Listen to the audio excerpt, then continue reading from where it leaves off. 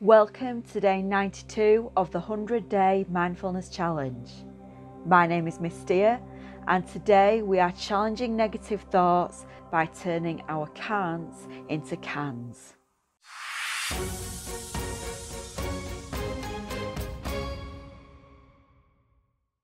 Yesterday, we looked at some of the different kinds of negative thoughts that can come up in your mind in different situations. One of those thoughts is, I can't do it or I won't be able to do it.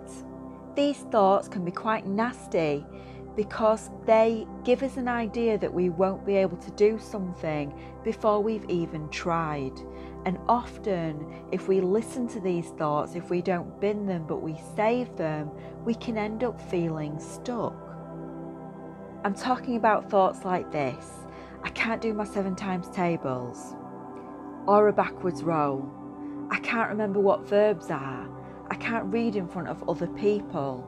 I can't play an instrument. I can't meditate or draw or speak French. I'm going to give you two minutes now and I want you to write down as many of your I can't thoughts as you can. Pause if you need to get a pencil and paper, and when you are ready, off you go. What kinds of things does your mind tell you that you can't do? This might be something quite small or quite big. It might be something from school or it might be something at home.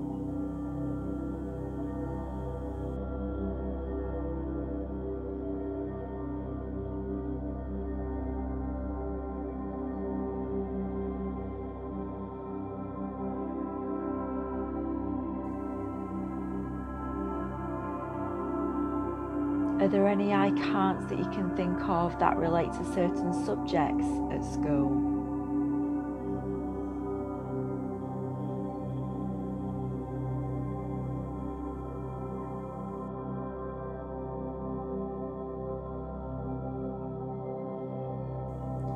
Are there any I can't thoughts that relate to physical activities?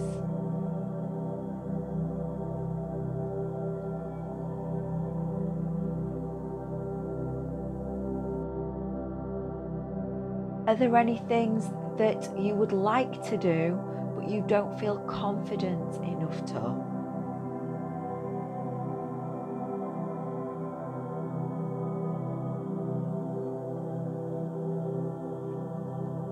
Are there any things that you'd like to do but you don't feel smart enough to?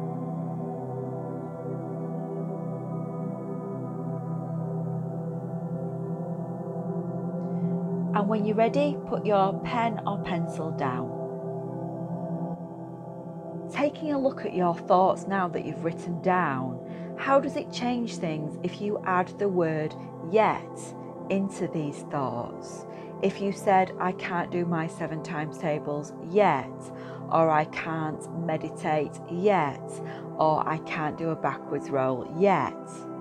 When we add that word, that makes us feel as if there's a hope that we will one day be able to achieve this thing, and we move from a fixed mindset to a growth mindset. Before we finish, I'd like you to consider how you could actually challenge one of these can't thoughts. What kind of small step could you take today to challenge one of these things and to begin building on that skill? If the thought is that you can't yet do your seven times tables, then could you just spend five minutes practicing them? If you can't remember what a verb is, could you look that up using a dictionary or the computer now? If you're feeling like you're no good at French, could you set yourself a challenge of learning one word in French today, either through a book or by watching a YouTube video? Could you challenge the thought that you can't play an instrument by learning a note or a chord and practicing just that? Could you face your fears of reading out loud by reading one sentence, one word, or one page aloud to one other person in your family? In this final minute, I want you to use your pen or pencil and paper again, and I want you to choose one thought that you can challenge today. And I want you to decide how you are going to do that, what step you are going to take today. Off you go.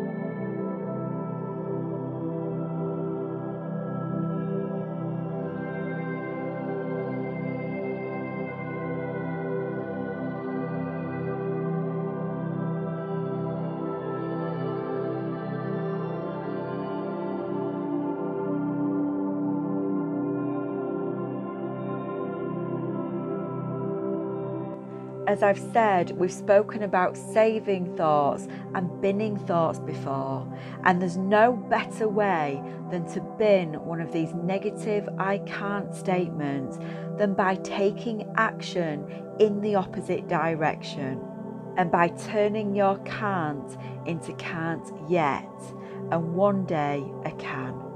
That's it for today. If there's anything that you'd like to share, just give an adult a nudge and they can share to Twitter, Facebook, or Instagram. Details are on the screen. Have a great day, and I'll see you tomorrow.